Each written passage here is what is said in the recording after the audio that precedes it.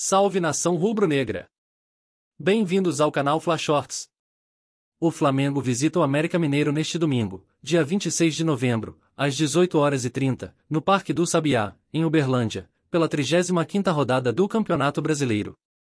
Se o Fla vencer hoje, já garante a vaga na fase de grupos da Copa Libertadores de 2024. A vitória sobre o RB Bragantino por 1 a 0 no Maracanã deixou o Flamengo vivo na briga pelo título brasileiro e precisa vencer para se manter na cola do Palmeiras e do Botafogo. E quem sabe, assumir a liderança do campeonato, dependendo dos resultados dos rivais. Para a partida, o técnico Tite tem um elenco completo à disposição. O Flamengo deve ir a campo com Rossi, Mateuzinho, Fabrício Bruno, Léo Pereira e Ayrton Lucas, Pulgar, Gerson e Arrascaeta, Luiz Araújo, Cebolinha e Pedro.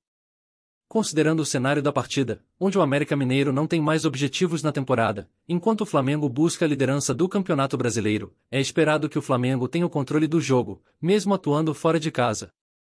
O jogo deve ser equilibrado, mas o Flamengo é o favorito para vencer. O time carioca tem mais qualidade e experiência, e deve aproveitar as oportunidades que criar. Deixe seu placar nos comentários. Aproveite, se inscreva no canal, ative as notificações e fique por dentro de todas as novidades do Mengão. Saudações rubro-negras. Hashtag Flashorts.